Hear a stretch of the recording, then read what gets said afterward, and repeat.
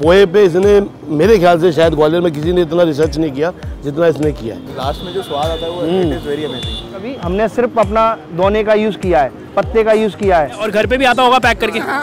बहुत बढ़िया भाई अब तो ज़रूर आइएगा।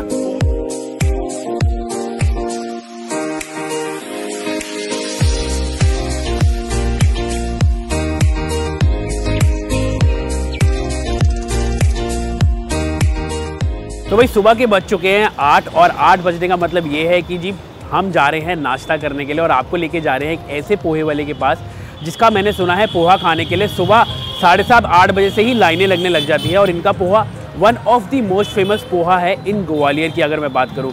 तो इनका जो पोहा है वो इसलिए भी डिफरेंट है क्योंकि जिस पत्तल में ये सर्व करते हैं, शायद यही करते हैं पूरे ग्वालियर में, उसको उस तरीके से सर्व बहुत ही फ़ेमस पोहे वाला है और मैंने सुना है कि लोग बहुत दूर दूर तक इनका पोहा लेके जाते हैं। काफ़ी बड़ी मात्रा में, भारी मात्रा में पैक भी करवा के लेके जाते हैं और बड़े बड़े सेलिब्रिटीज़ भी आके इनका पोहा खा चुके हैं और आके खाते भी हैं। तो भैया, अगर आपके मुँह में ये सुन के बहुत ज़्यादा पानी आ रहा है और अगर आप भी पोहा खाने के शौकीन हैं ना तो आइए जी, आपको भी लेके चलते हैं पनवाड़ी पोहे वाले के पास और आपको कराते हैं सुबह का नाश्ता पोहे का। आ जाओ। अगर लाइनें तो बहुत देख ली हमने इनकी पोहे के लिए। आप बताइए कि इतना फ़ेमस क्यों है ये? इसकी खासियत ये है कि ये जो काम करता है जी।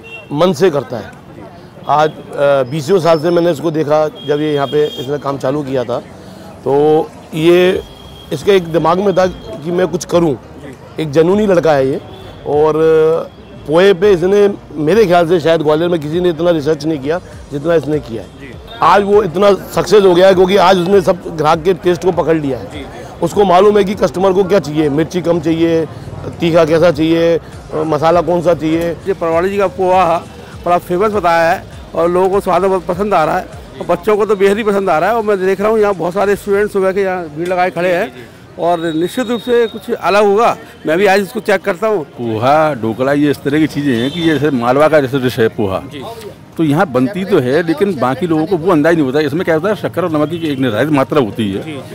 और वो अमूमन क्या है कि वो केवल टेस्ट जो इंदौर में मिलता है पोहे का या मालवा में मिलता है वो टेस्ट इनने खड़ा कर दिया। दस पाँच सालों से आ रहा हूँ बहुत ही इनके पोहे में एक स्वाद है। और निश्चित तौर पे ग्वालियर के लोग सुबह के खाने के बहुत शौकीन है। वो चीज़ आपने यहाँ देखी होगी कि चाहे बड़ा हो हमारे यहाँ चाहे छोटा हो सब जने एक साथ बैठ के हम लोग सुबह का नाश्ता ज़रूर कहते हैं। मैं सोनू चौरसिया पनवाड़ी पोहा इंदरगंज चौराहे पे सर मैं लगभग 2012 से मैंने पोहा स्टार्ट कर दिया था। इससे पहले मैं नमकीन का ठेला लगाता था। साइड से नमकीन का ठेला लगाता था। काफ़ी चला, नमकीन का भी ठीक रहा। इसके बाद एक दिमाग में आया कि पोहे का एक कॉन्सेप्ट ग्वालियर में होना चाहिए, अच्छे तरीके से होना चाहिए। मैंने कई जगह अपना स्टार्ट करने से पहले पोहा खाया। मुझे बहुत अच्छा नहीं लगता था तो मैं पोहा बनाना जानता था। तो मैंने सोचा कि क्यों ना अपन लोगों को भी ये ट्राई करें। तो मैंने पोहा स्टार्ट किया। ईश्वर की कृपा से मेरा बहुत अच्छा चला पोहा। कॉन्सेप्ट ही मैंने अलग से रखा, पत्ते में खिलाना स्टार्ट किया लोगों को। दोने का रहा हमारा नेचुरल टच रहता है। और तुम्हारा ये जो केमिकल्स वाली चीज़ें रहती हैं, जैसे ये प्लेट्स वगैरह और भी कई चीज़ें होती हैं तो वो हमने नहीं रखा कभी। हमने सिर्फ़ अपना दोने का यूज़ किया है, पत्ते का यूज़ किया है। ये हमारा पूरा नेचुरल रहता है सर, ये दोने का। खाने से लेके पैकिंग तक का पैकिंग खिलाते इसमें हम। ये इसमें दोने का रहता है, हमारा पैकिंग का रहता है। ये लोग जंगल से तोड़ के लाते हैं। इसको हम एक एक दोने को साफ़ करते हैं और इसमें सर्व करते हैं हम। तो हमारे दिमाग में ये रहता था, हम भी किसान हैं, गाँव से जुड़े हुए लोग हैं, पत्ते का हमारे यहाँ हमेशा से यूज़ होता चला आ रहा है। तो हमने भी ये पत्ते का कॉन्सेप्ट स्टार्ट किया। लोगों को इतना अच्छा लगा, इतना पसंद आया। ये खादी पेपर भी है, बिल्कुल प्लेन है, इसमें कोई कलर नहीं है, कोई डाई नहीं है। ये इसके ऊपर रखे और ये सर्व करते हैं हम। और आप आपसे निवेदन है कि एक बार आप ट्राई ज़रूर करें। ये ये सर हमारा जो पोहे बनाने का तरीका है वो एकदम हटके है लोगों से। हमारा शक्कर नमक हींग दालचीनी लाल मिर्ची धनिया सौंफ खड़ा जो भी होता है एक तरीका है डालने का उसमें कैसे डालना है कितना डालना है ये क्वांटिटी मात्रा हमें याद है। सौ प्लेट से लेके एक हज़ार पाँच हज़ार प्लेट तक हम बना के दे सकते हैं लोगों को। एक एक दाने में वही स्वाद रहेगा वही टेस्ट रहेगा। हमारी क्वालिटी बनी हुई है। आप कभी भी ट्राई करके देख सकते हैं और आप हमें ऑर्डर भी दे सकते हैं। आउटडोर हम ऑर्डर भी करते हैं कैटरिंग का भी रहता है हमारा, सिर्फ़ पोहे का। पोहा, जलेबी, ढोकला, ये सर हमारी प्लेट कंप्लीट बन के आ गई है। इसमें आपका प्याज, नींबू, धनिया, मसाला, ये सेव, दाना, रतलामी सेव रहता है। बहुत अच्छी क्वालिटी का प्योर बेसन का रहता है। महाकोश तेल यूज़ करते हैं। और ये आपका मूंगफली का दाना है। ये बिल्कुल तैयार है। ये हम बीस रुपये की प्लेट सर्व करते हैं आपको। पैकिंग का कॉन्सेप्ट रहता है, उसमें प्याज, नींबू, धनिया डाल के देते हैं दोने में और सेव दाने का मसाले का पैकेट अलग से देते हैं। एक सेव दाने का पैकेट देना सेव दाना मसाला।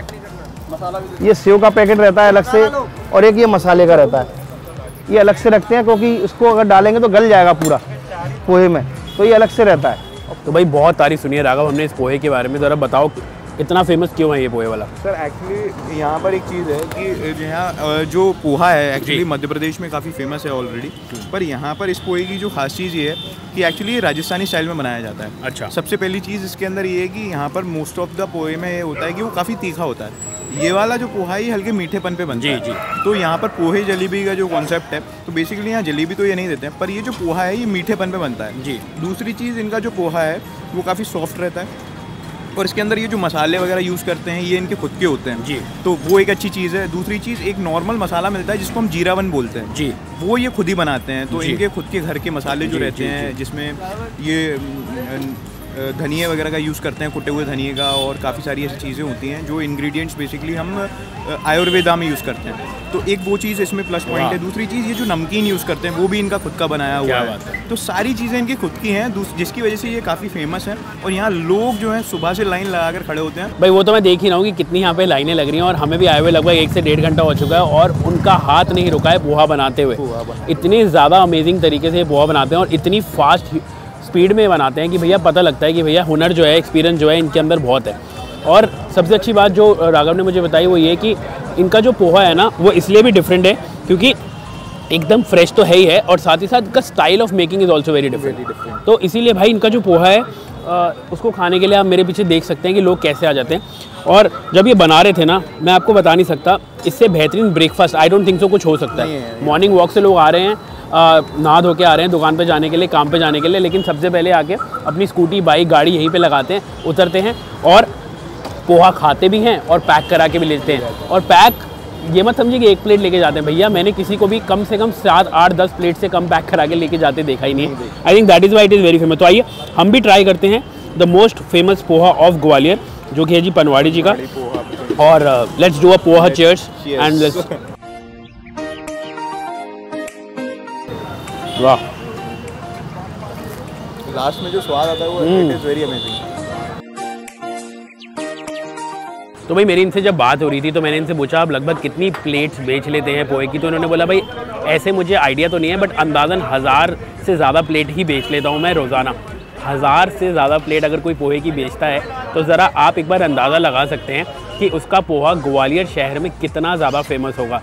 मैंने देखा कि लोग सुबह की मॉर्निंग वॉक के बाद लोग सुबह ऑफ़िस जाने से पहले लोग अपने घर वालों के लिए यहाँ से पोहा लेके जाते हैं।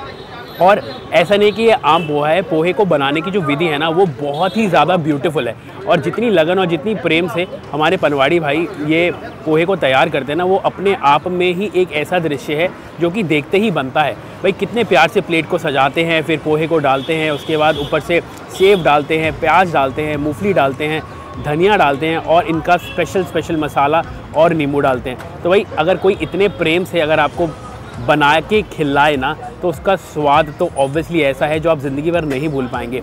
मैं भी नहीं भूलूँगा ये स्वाद और ये मेरी लाइफ का वन ऑफ़ द बेस्ट पोहे का एक्सपीरियंस ज़रूर रहेगा। तो अगर आप कभी भी ग्वालियर आएँ, इनके पास एक बार ज़रूर आइएगा और स्वाद ऑफिशियल को लाइक फॉलो और सब्सक्राइब करना बिल्कुल भी मत भूलिएगा।